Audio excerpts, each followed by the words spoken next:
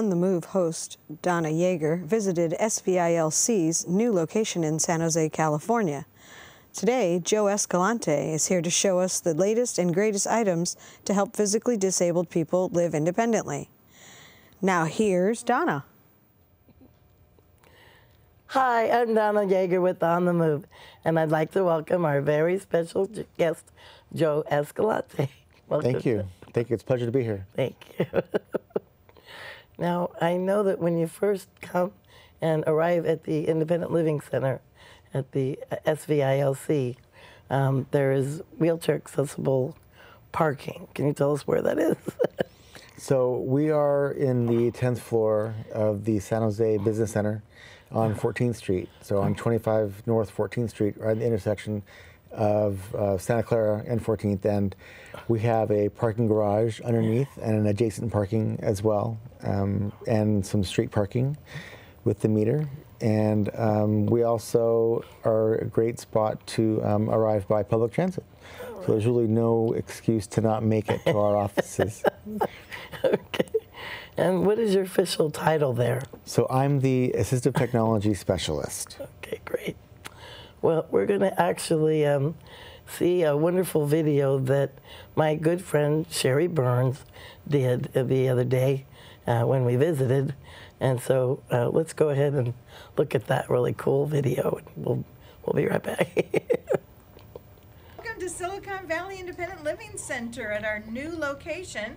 Uh, 25 North 14th Street, Suite 1000, which is on the 10th floor of the San Jose uh, uh, Business Center in San Jose, uh, California, and we're on the corner of 14th and East Santa Clara Street, right downtown, easy to get to us on uh, bus 22, 23, and 64. Um, I'm Sheri Burns. I'm the executive director here at Silicon Valley Independent Living Center, also known fondly as SVILC because it's a mouthful. And we welcome you here. Uh, we provide a variety of different programs, services, and advocacy training and peer support for people with all types of disabilities of all ages who live or work in Santa Clara County. So one of the features we have in our lobby here as folks are signing in and waiting uh, for their appointment, if they're here early, is to find out about the different classes and workshops that we offer throughout the month. We have a weekly, uh, two weekly housing workshops. One is a basic introduction to housing services, um, talks about all the different types of low income subsidized housing available in Santa Clara County and how to apply. Uh, the second workshop, we actually go through the whole process of, of filling out an application and help with all of that interviewing skills, etc. When people um, attend the workshop, they leave with a huge packet of great information that has all of the low income housing for people with disabilities and seniors and low income families in, throughout Santa Clara County. And it's all categorized by city and by type of housing. So it's real easy to find what's available because there's so little available. So we want to make it a little easier. Um, and then besides the two housing workshops, we offer a variety of independent living skills classes. We have basic cooking and baking. We have emergency uh, preparedness classes once a month. Uh, we are also doing budgeting, which we just had this morning uh, here, and personal business management, time management, a real variety of independent living skills classes. We also have peer support and self advocacy training once a month. So we encourage people to check out our website and also our Facebook page. Website is www.svilc.org to find out about all of the different programs and classes. Or you can call us at 408 894 9041. Wonderful. Sheri's been a friend of mine for many, many years, and and I, I it's always a lot of lot of fun when we get to see her, catch up on old times. and so, um, Joe, tell me, what is your official title there again? so I am the assistive technology specialist. Okay, cool. And how many years have you been working there? so I've been working at SVILC for a little bit more than six years. All right, cool. And before I started working there, I'm actually I was actually a client back right after I got hurt.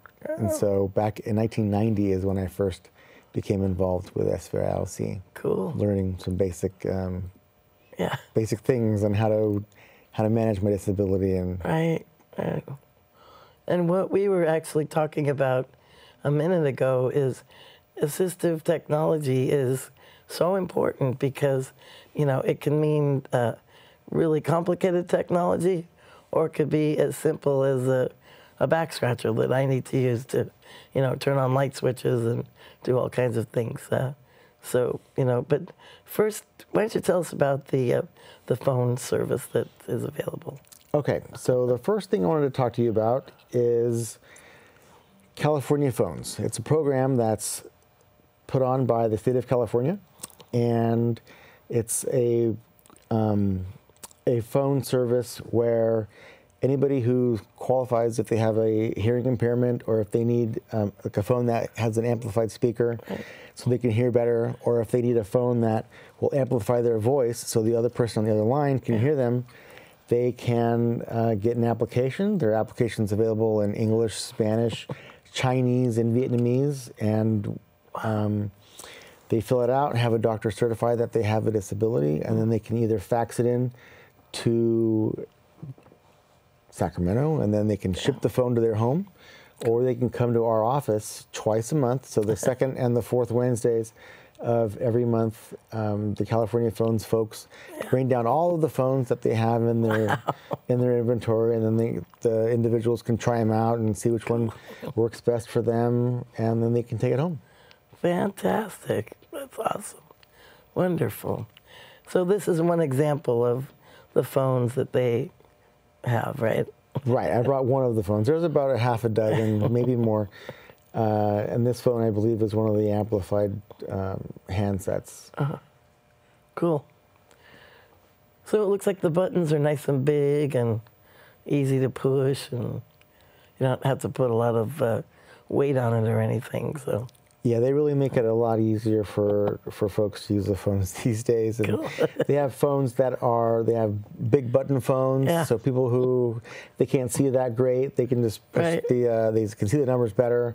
Or they have phones that have photos Uh-huh. of of uh, you can put a photo of a picture of your friend or your family member, in and just Cool. push the button to talk to yeah, your son or daughter. Just put their their face. I'm gonna push their face and I'm gonna call them up.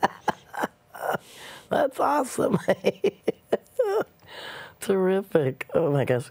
Well, show us some of the other wonderful uh, technologically complicated things that I'm getting. So the other items that I brought are items that belong to our device lending library. right, right. Now, the state of California has 12 device lending libraries, and we are obviously one of them. Yeah.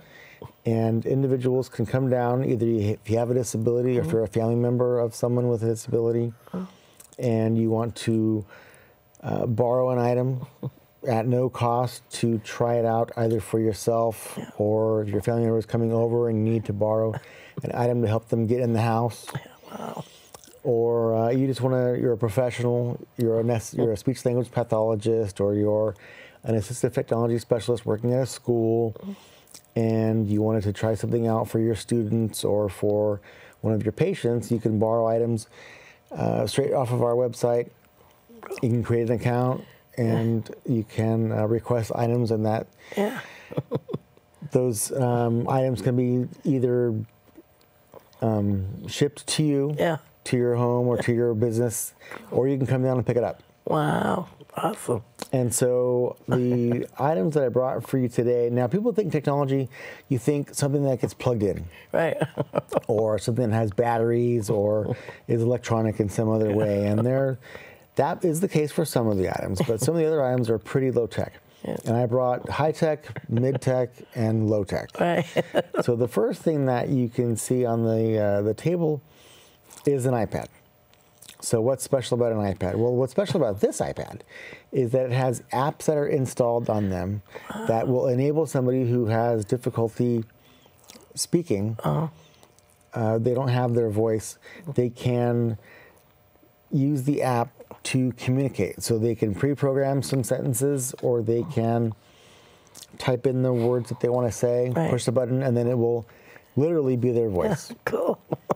Um, okay, so then what else is there? So we have a talking digital uh, thermometer. or a thermostat, excuse me, and a talking digital clock all built into one. Oh, cool. So if somebody um, can wants to borrow that, they can. And then low tech item in front of that is a button hook. Oh. So it's somebody who who may want to borrow that is if they have difficulty with their hands and they can't Mm-hmm. button their shirt, Right. They can use a button hook to uh, pull the pull the button through the Right. through the hole and Tiny can, little slot.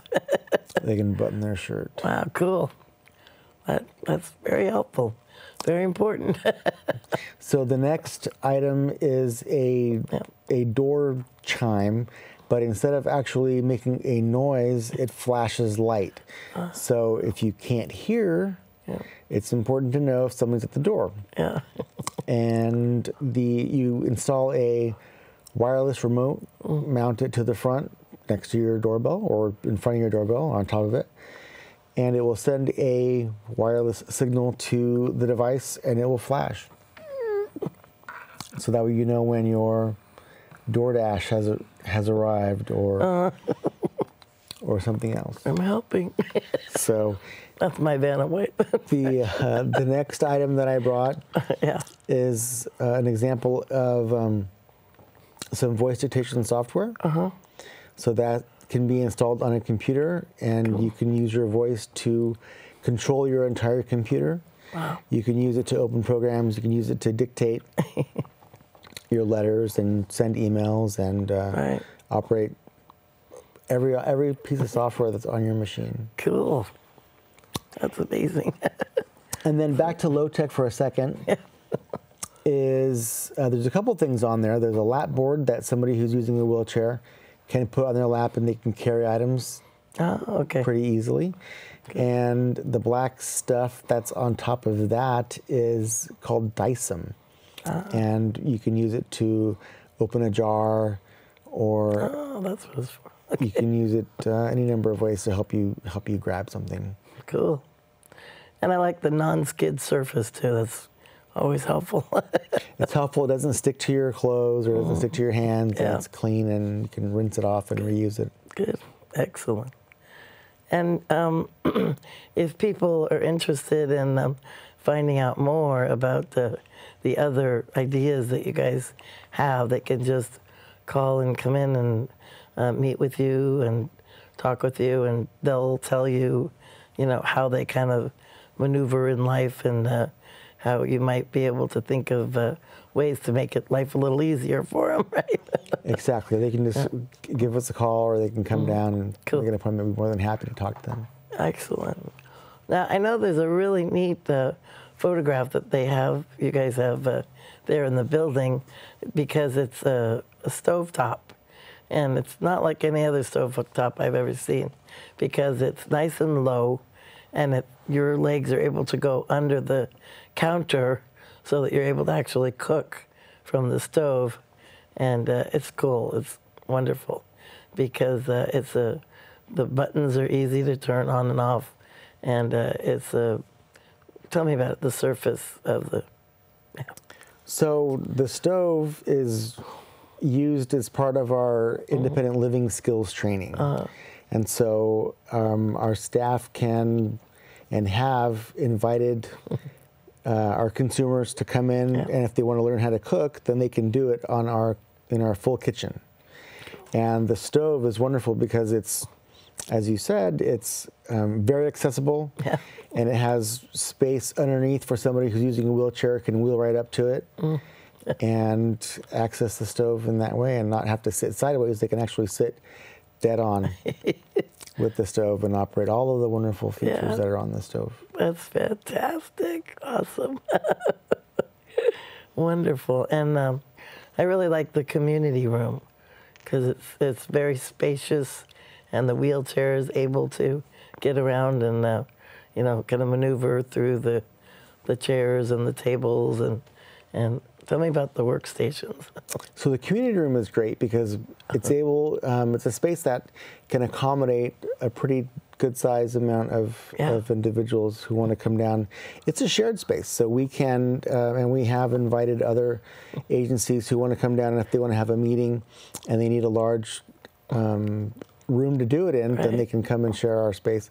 We also have a boardroom where people can come in Oh. and and use our space, and we can do web conferencing and Cool. other teleconferencing in our in our center. and then we also have a community um, a computer uh, work area Oh. where our staff um, can work with our consumers Yeah. who are working on their um, working on their independent living skills, learning how to type, and Yeah. Building their resumes up, and and then also the community the community members can come in and just use the use the computers themselves, So they just call and make a reservation to uh, come and look at the. or they can just drop in and Yeah. Oh, because we have like four or five machines that uh, that people can use. So awesome. That's fantastic. so it's a hop in place during Yeah. the day. Yeah. Yeah. Well, I'm impressed how beautiful it is. It's it's so spacious and and very wheelchair accessible, and uh, it's the the ele- it's on the tenth floor, so it's a really you know very pretty uh, pretty facility. The building is very pretty, and there's like marble when you actually come into the front upper lobby area. It's like woo, very fancy. I was impressed. Very nice. so tell me about the. Um, there's a really cool collage of black and white photos. I really love that picture. It's very pretty. Uh, which well, it's it's a big, huge collage. I think it's in the community room, um, where it's just a huge collage of photos of people. Okay, well, anyway. Well, some of the photos I can Yeah. I can talk. They are um, of our community members who have transitioned Right, right. from living in a in a skilled nursing facility or in a um, other long term care facility, Oh, cool. and they've successfully transitioned and um, are living independently now. Awesome. So from nursing home to their own apartment. wow. Wow, bold move by the young challengers. It's quite an accomplishment. Yeah. I'm very happy for Yeah, them. yeah, that's fantastic. Well, I was living in Virginia, and um, I actually met Judy Heumann and Ed Roberts when I was about 15, and they told me, finish school and, you know, move out to California and you'll be able to live independently. And it's like, well, what an awesome person to hear it from, Ed Roberts himself. so he really impressed me, and and uh, that was my goal. And my parents didn't know about it, but uh, two weeks after graduating from high school in Virginia, I didn't care for the snow. So I said, "Well, can you pack me up and move me to California, please?" So I did. Luckily, you know. So we have a couple of meeting rooms where we meet one on one with our clients. Good, good. And each room is named after an important individual in the disability uh, justice or Yeah. disability movement. Yeah, And Ed Roberts is one of them. Justin Dart is another. Wow. And so we're going to go to the Ed Roberts room. Okay. Yeah. That's wonderful. And um, I enjoyed the parades that uh, you guys had for a couple of years in a row there. And, and Ed Roberts' mom led the parade. Uh, I think that was that last year or the year before. It was And- a few years ago. Yeah, a few years ago. But she did a beautiful job. She was in that fancy old car, and it was cool. Very sweet. but it was wonderful. I knew Ed, and it was really neat to meet Ed's mom, too. So that was cool. But um, that's wonderful that you've named the rooms after people. That's cool. Really nice addition there. That's cool. Gives me the chills. That's wonderful. That's what I'm sure that uh, Ed is very proud of you. That's fantastic. And then our uh, our good friend Frances, uh, Frances Merrill. I've known her for many many years as well, and she's working there, right? Yes. Yeah. Yes. Frances works as the uh, independent living's, um, uh, in- excuse me, information and referral. Yeah, oh, she's so sweet. I was saying that I've known her since uh, her daughter was like four or five years old. I kind of babysat for her once. and now she's like 25. So, I mean, we try to do to try to be all things Yeah. to all things disability to all of our Right. um, consumers, but uh, we do have to refer out, and so Frances does her best to know Right. everything about what's going on in the community, and she does a wonderful job. Oh, there's so much information out there. It's incredible. It really is. It's hard to hard to juggle all the information. It is. It's quite a challenge. and then you were also saying that um, you have a housing representative, right? So yeah. yes, we do. Housing is one of our one of our most popular services. yeah. After um, just a little bit more popular than than AT. um, but uh, so people can come down and get information about um, availability vacancies that are available in in Santa Clara County. Now it's really hard to maintain a comprehensive list of everything that's that's available, but um, our our staff do their best Okay. to stay on top Well, of that. it's constantly changing too, so yeah. It is. Well, tell us what the uh, web address is. So our website is www.svilc.org. One more time. www.sv for Silicon Valley ilc.org. Oh, cool. Very good. And what is the actual phone number that people can call? You can reach us at 408 894 9041. Cool. Thank you. So, um, I, I guess there's a lot of uh, information that's available there at the center, the Independent Living Center, Silicon Valley Independent Living Center. And so, um, and it's actually changed. I was, um, let's see, my position there was the empowerment leader. So I traveled from the northern, northern area of uh, California, like Susanville and uh, up by Santa Rosa, way up north, and then all the way down to um, to the Monterey area. So every day of the week, I was at a different independent living center, educating and teaching people to become an empowerment leader, and it was a, it was a wonderful, wonderful job. But I just I just had to spread my horizons to other places. But it was a wonderful experience, and it was a lot of fun. I enjoyed it. So, so tell us more about um, some of the things that you really have enjoyed, you know, helping people with. Well, it's always great when we're when we're able to assist someone Yeah. with transitioning. Right?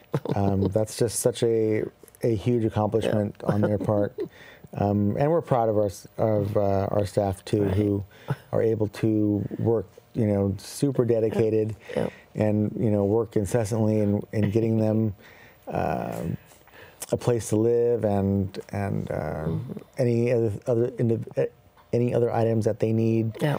To live uh, to live independently. It's um, it's remarkable. We have a there was a woman who was just dying to get out. She's in her 90s and she transitioned and she's been uh, out for four years and she's like 101 years old now. Oh my goodness. Well, we have one last picture here that I wanted to add because it's, I mean, we were luckily, we were there on a beautiful, clear day and we had a wonderful, awesome view from the 10th floor. Uh, I love the windows in that building. They're so big and bright. We don't have that. Okay. Anyway, you're going to have to go, I guess, in order to enjoy that beautiful view. but anyway, I really want to thank you so very much. But before you go, I want to ask you one more time for that phone number. It's 408 894 9041. okay, cool. Awesome. And one more time for the web address. And the website is www.svilc.org. Cool. And are you available like Monday through Friday or? And our business hours are 9 a.m. to 5 p.m. And we're closed from 12 to 1 Ah, for lunch. Okay. for lunchtime. Well, you have to eat. I mean, after all, you guys are human. we understand. Oh, Joe, I want to thank you so very much. You've you've been wonderful, and uh, very quickly, I just want to mention that uh, we've we've had a lot of amazing crew members and producers of the show, and and uh, my friend. Uh, and a husband, ex-husband, Joe has been uh, very instrumental. He produced uh, quite a few of the shows in the early days and helped us out with that. So we remember him with very fond memories. So But really, I want to thank you so very much for coming and joining us. You've been wonderful. Thank We'll- you. We'll keep in touch, okay? Thank you. Thanks. And thank you so very much for joining us. Until next time, I'm Donna Yeager with On the Move. Have a wonderful day. We're on the move. We're striking out to set the pace. We all can choose to make a difference. Our time is overdue. If we collect our dreams, take them on the move. We're rolling and we're walking, but we're not sitting still. There's a world of adventure to explore. To explore. We're signing and we're talking from New York to Brazil, from Canada on out to Singapore. We're on the move to make this world a better place. We're on the move. We're striking out to set the pace. Can choose to make a difference. Our time is overdue. If we collect our dreams, take them on the move.